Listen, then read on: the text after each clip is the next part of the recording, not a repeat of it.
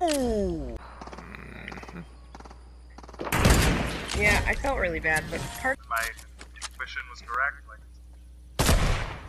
She definitely has the capability of being like. Yes telling Jeremy about it this morning. Uh, part of my homework for my